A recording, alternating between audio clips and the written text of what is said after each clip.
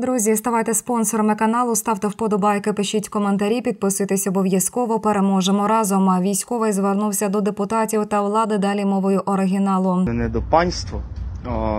Це я звертаюсь до депутатів наших кончених, е, звертаюся до нашого керівництва. Да, ви всі молодці, що ви не здали країну, що ми дотепер боремося за цю зброю і так далі, тому подібне. За це все вам дякую. Але скажіть мені, будь ласка, чим депутати заслужили збільшення зарплат, отримання ніхрена не е, пристойних премій. А чим е, військові, які зараз зараз на фронті, в окопах, які взагалі служать, лишили свої сім'ї, і якось їм треба забезпечувати свою сім'ю, е, своє існування, як взагалі, платити за квартири, ну, що, щось, ну, тобто оплачувати якісь послуги комунальні і так далі, і тому подібне. Якщо ви вирішили собі, Верховна Рада проголосувала про зниження зарплат військовим і премій. Ну, ви взагалі що чудите? Тварі.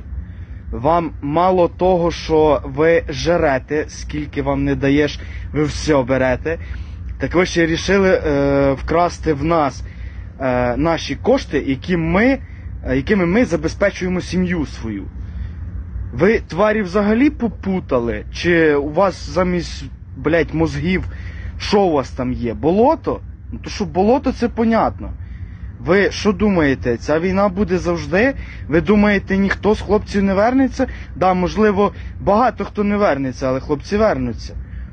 Це і стосується представників воєнкомату, але в першу чергу це до вас, тварі депутати. Ви що чудите? Ви хочете що? Щоб вам приїхали і вам уже під кулями ставили ультиматуми? Так цього слід чекати. Тому що таке ставлення до військових неприпустиме.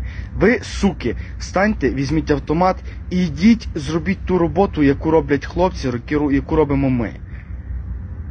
А не сидіть у своїх сраних кріслах і не диктуйте, що кому треба врізати, а кому не треба.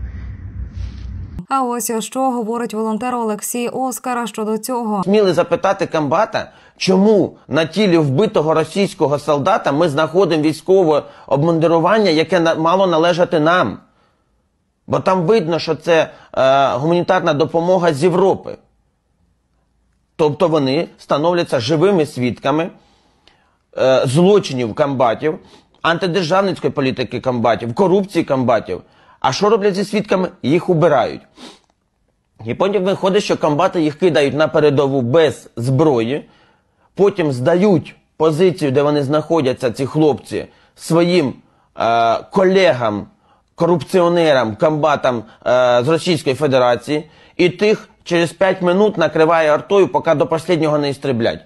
І коли хлопці живі е, повертаються назад і починають комбату пред'являти претензії, комбат їх садове на СІЗО, прикріпляє їм, е, малює їм кримінальну справу СЗЧ, е, що означає самовільне е, залишення частини. І малюють їм кримінальні справи. А закон так прописаний, що комбат це Бог. І проти нього не можна нічого говорити, і проти нього не можна навіть в суді нічого добитися.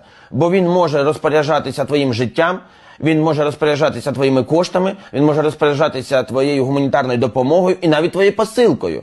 Хлопці получають посилки від рідних, відкривають ящик, а він уже розірваний, там все розкрадено.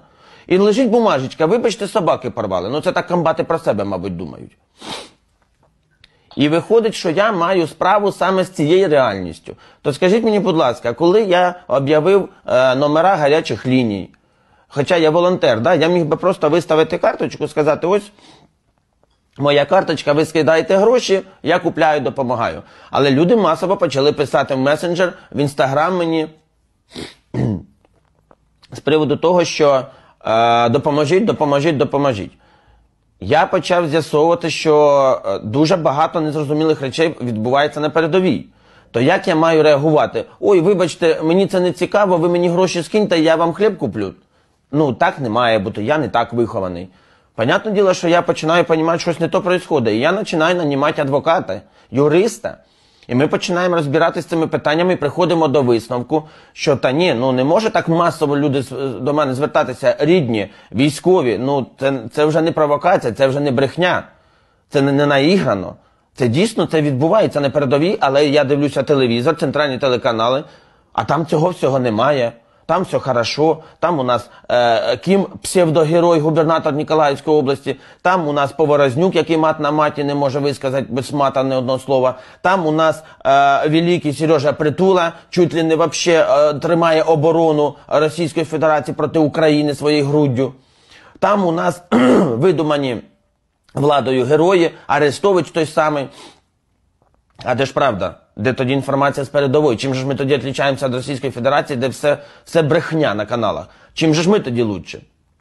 Я починаю наймати юристів, і ми вибудовуємо систему роботи з такими зверненнями, такою інформацією. Ми розробили рапорти, зразки рапортів. Я, як би це правильно так сказати, не вишту, ну, виштурмував, скажімо так, навчив хлопців е, в подальшому реагувати на несправедливість. І зараз можу ще раз сказати. Я їм всім сказав: якщо у вас такі непорядні комбати, берете листок, берете ручку і пишете заяву, рапорт Верховному головнокомандуючому Збройних сил України, президенту Зеленському ВО, рапорт військового такої-то частини, такого-то зводу, такої-то роти, все.